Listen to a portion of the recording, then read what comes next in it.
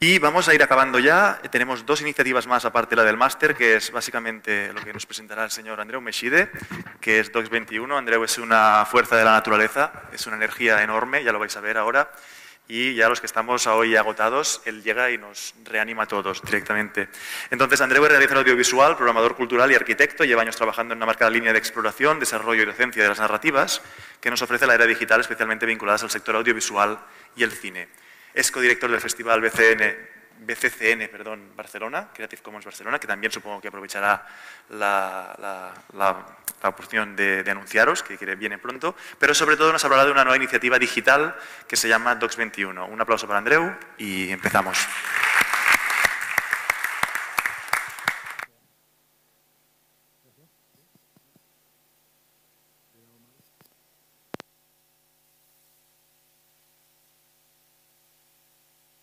¿No verdad? Ahora, ahora, ahora. Vale, Arnau, lo de la fuerza de la naturaleza me lo guardo. Eso te la devolveré cuando pueda. Eh, bueno, muchas gracias. Sobre todo, eh, dejadme empezar agradeciendo, como no, a Arnau, a Interdocs, claro, a la organización, a Docs Barcelona y a todos los voluntarios y toda la organización que hay detrás de este festival, el festival y el Interdocs, que es una maravilla para los que podemos acercarnos a él. Y yo vengo a hablaros en principio hoy de Docs 21, que es una iniciativa que es eh, el primer año que ha nacido, ya es, ya es una realidad, pero es el primer año que existe, que responde al Twitter ya lo sé, me vais a decir que mal, no tenéis un Twitter propio. Sí lo tenemos, pero no se llama Docs21, se llama Transmedia Z, que es la asociación que tenemos detrás del festival. Eh, dejadme hacer un marco muy rápido de por qué hacer un festival que le hemos querido llamar Festival de Narrativas Digitales, de no ficción, de narrativas digitales. Estos conceptos que hemos hablado sobradamente de ellos, eh, es un poco el panorama donde algunos de los tags, donde nos situamos eh, los que estamos hablando hoy en día de estas narrativas. estas palabras que seguramente tenían otro aspecto o otra, otro significado, digamos que los conceptos existían antes de lo digital, pero ahora se han materializado y las podemos utilizar eh, y palpar y, cuantificar, nos hacen ver seguramente que tenemos, como es lógico, unas nuevas narrativas, unas nuevas narrativas que se supone que van asociadas con unas nuevas lógicas. ¿Por qué hago esta introducción? la experiencia profesional en el sector de la que vengo yo y sobre todo con el otro festival, que ahora después haré una pincelada, que es el de Barcelona Creative Commons Film Festival, que es cine, estamos hablando de cine, eh, sí que si nos situamos en WebDoc, si nos situamos en Doc interactivo, Doc inversivo o Doc transmedia, estamos hablando casi seguro al 99% de posibilidades en un ámbito digital.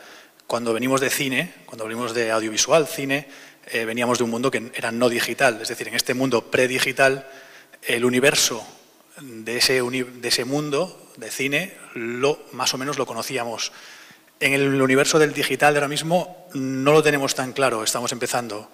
¿A qué me refiero con esto? Me refiero, por ejemplo, que en ese redefinir que estamos haciendo, en ese paso que hemos dado en lo digital, eh, pues evidentemente antes sabíamos más o menos, quién más quién menos, cómo se producía, cómo se distribuía o cómo se exhibía.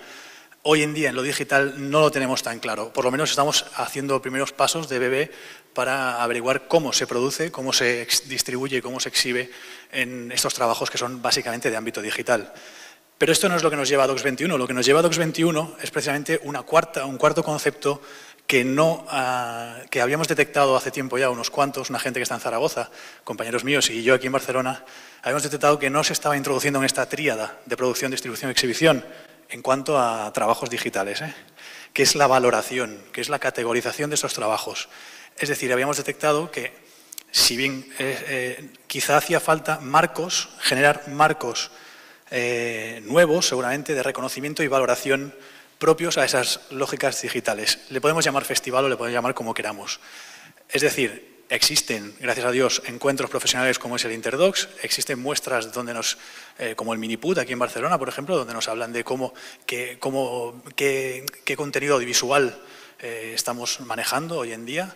Existen en otros festivales, tienen muchos de ellos, el IDFA, muchos otros tienen su parte interactiva pero propiamente, internamente, en el Estado español habíamos detectado que no había un marco de reconocimiento de las obras eh, de ámbito digital. Llamémosle webdoc, transmedia, eh, inmersivo, como queramos. Esto es lo que nos hace darle vueltas a la cabeza hace unos cuantos meses ya, bastantes, y acabamos eh, acercándonos a este concepto que era Docs 21, Festival Documental de Narrativas Digitales. Empezamos con la premisa bueno, esto es un poco una imagen para que veáis, por eso insisto mucho en llamémosle como queramos, porque aquí cada uno le hemos ido poniendo durante varios años etiquetas diferentes a lo que seguramente está todo mezclado. Nosotros hemos llamado este, bajo este paraguas genérico de narrativa digital a todo lo que es narración, en este caso el festival es eh, de no ficción, es decir, documental, y se mueve con herramientas no solo audiovisuales, sino también eh, digitales, propias del ámbito digital. Teníamos claros desde el principio que estos eran los tres patas que querían, tenían que aguantar, queríamos que aguantasen el, festival, que era generar debate, pero por encima de eso generar fomento, intentar ayudar a que estos proyectos salgan adelante, si puede ser, y generar exhibición, que era el punto eh, más difícil para nosotros, cómo se exhiben estos trabajos. Y desde el punto de partida también nos marcamos como premisa, son las pocas cosas que teníamos claras desde el principio, que había estas dos categorías. Íbamos a marcar simplemente obra acabada y obra en desarrollo. Y eran los autores, esto estaban las bases explicadas, eran los autores y las autoras los que decidían cuándo había acabado su obra o cuándo no. Ellos decidían en qué categoría se presentaba.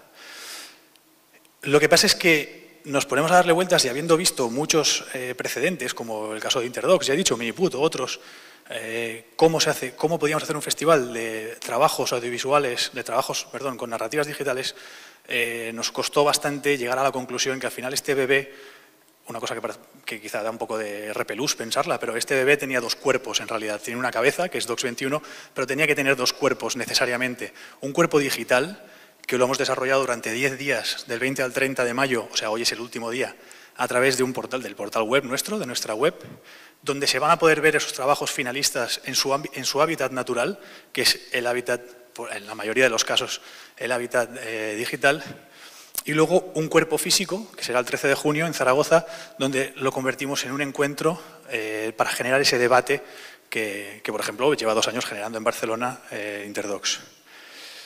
Este esquema que me consta que lo hicimos con mucha buena intención, me consta que no se entiende absolutamente nada, intenta explicar eso, que es esta, cabeza de la izquierda es el Docs digital de esos 10 días a través de www.docs21. Todavía hoy podéis entrar a ver los trabajos finalistas.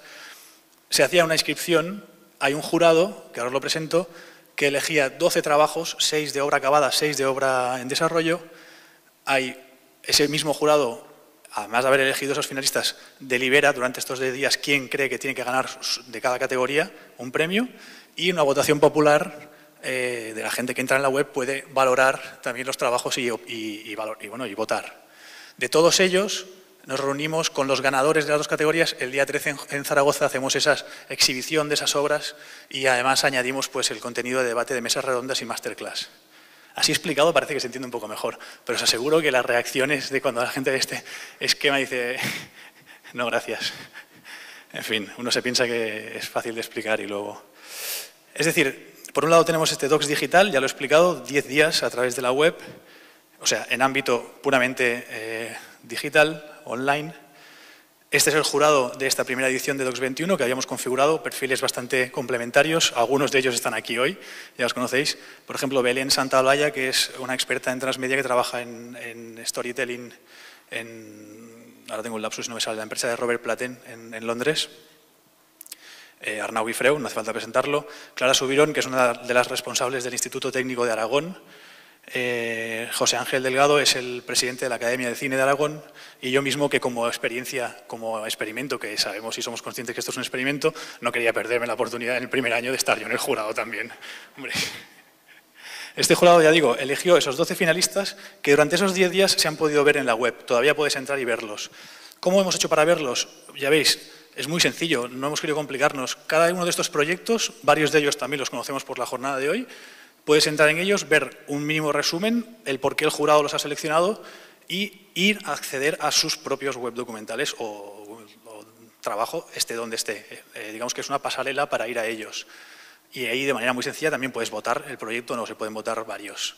160 metros, por ejemplo, Isabel, que hemos hablado, se ha hablado hoy de aquí, Catacumbas, Buscando Historias, como son a cinco, Las Voces de las Memorias, son las obras acabadas que el jurado consideró, aunque hay muchas otras que tendrían que estar ahí, pero no cabían, porque fue difícil elegir, fue muy difícil tener que elegir solo seis, eh, que consideró que eran representativas. ¿En función a qué el jurado eh, elige los trabajos? En función básicamente a dos conceptos muy importantes. Uno, la historia, y el otro la hibridación de esa historia precisamente con la tecnología, es decir, cómo la tecnología acompaña a la historia y cómo la historia acompaña a la tecnología para poder explicar eh, esa narración. Y luego seis proyectos en desarrollo, que son Bujarag, La Idea de Europa, Montenoso, Próxima Visita, Cero Responsables y Under My.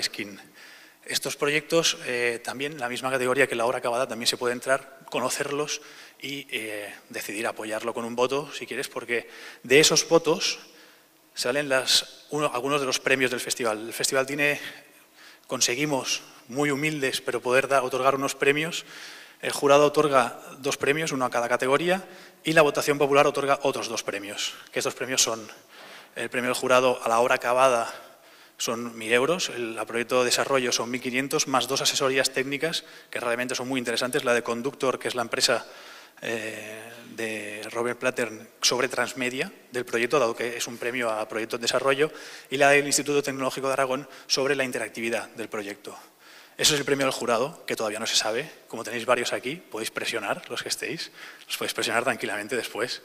Y, se sabrá el día 3. Y el premio del público que otorga estos, eh, también dinero, para, un poquito de dinero para la obra acabada y el proyecto de desarrollo, eh, pues las dos asesorías también digamos que hemos explicado, he explicado, ya estoy acabando, la parte digital, nos quedaba la parte física, que no queríamos dejar pasar tampoco la oportunidad de hacerla, no queríamos ser un festival solo online, porque al final es importante encontrarse, tocarse las pieles y, hablar en persona. En este caso, como el grueso del equipo que ha organizado el proyecto y básicamente la financiación estaba en Zaragoza, lógicamente el festival se tiene que hacer en Zaragoza, que lo hacemos en Etopía, que es el Centro de Arte y Tecnología de Zaragoza, donde ya habíamos hecho, como se, como se ve ahí, eso es el edificio, ya habíamos hecho algunas jornadas previamente, y en, esas jornadas hemos querido invitar a algunos, también tenemos a Eva aquí, por ejemplo, y a algunos expertos de narrativas digitales que nos vengan a hacer esas masterclass y esa mesa redonda, una mesa redonda muy genérica porque el objetivo del festival en todo momento eran dos, era dinamizar si podía ser el propio sector, lo que se estaba haciendo,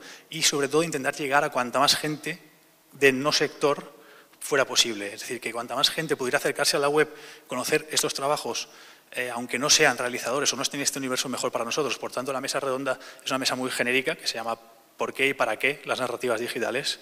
Pero estará muy bien, seguro, porque los expertos que tenemos la suerte de contar con ellos pues, eh, son punteros.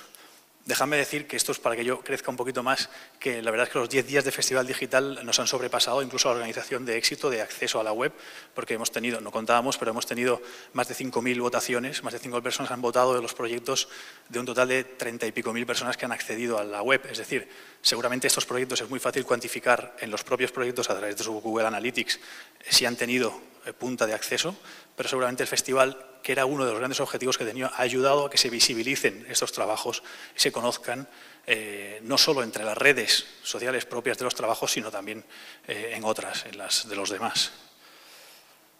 Este es el programa que tenemos para el día físico, que bueno, en fin, quien quiera esto en la web se puede ver todo y os podéis acercar, estaremos encantados de invitaros a venir a Zaragoza, invitaros a venir, ya me entendéis, a recibiros en Zaragoza, y dejadme hacer solamente un breve inciso de 30 segundos porque el principal problema que teníamos aquí en este festival, y como he dicho antes, no era el fomento, porque al final es una cuestión de poder dar premios, no era la difusión, porque al final es cuestión de pensar un esquema de cómo hacer que estos trabajos se vean en la sociedad, era la exhibición, porque los trabajos que están en el ámbito digital, por lo general, se ven en el ámbito digital, y el ámbito digital a día de hoy sigue siendo mayoritariamente un ordenador, una tablet, un móvil, pero no es una pantalla grande, por lo general.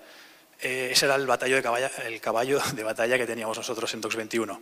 ¿Cómo lo vamos a hacer con las obras ganadoras? No os lo voy a decir. Vais a venir a Zaragoza si podéis y así lo comprobamos. Lo que sí que os voy a decir es que en el otro festival, que es mi otro, mi otro bebé, el de aquí de Barcelona, que es el BCCN, el Barcelona Creative Commons Film Festival, este jueves que viene, que es cuando empieza el festival, hacemos esta mesa redonda, aquí, al lado, en, el auditorio de la Blanquerna, que se llama Innovamos en la exhibición, nuevas formas de exhibición para dar valor a la proyección física y colectiva. Precisamente en este festival lo que queremos reflexionar en esta mesa ronda es sobre eso. ¿Cómo podemos dar valor a la experiencia del acto de acercarse al contenido cinematográfico, sea interactivo o no? Si es interactivo, mejor, porque es más difícil todavía. ¿Cómo dar valor a esa experiencia comunitaria y colectiva en lo físico? Sacar ese trabajo de su ámbito, de su hábitat natural, que es el digital, y ponerlo en lo físico. Para esta mesa redonda contamos con Pedro Jiménez de CEMOS, que es un festival de los punteros en, el Estado español, llevan 16 años hablando de cultura audiovisual e Internet. Contamos con Agata de Film Interactive, que es de los principales festivales de cine interactivo que hay en, es de Polonia, en Europa. We Want Cinema, eh, con Amy Gottenbosch y Alberto Tognazzi, que son dos empresas, una ya muy consolidada, la otra es incipiente, sobre cine on demand en, en sala, y el caso práctico de la película de Marek Tuchinski de Technological Tactical Collective. Y esto es todo, creo. Ya os dejo que hace Solete fuera y queremos salir todos. Muchas gracias.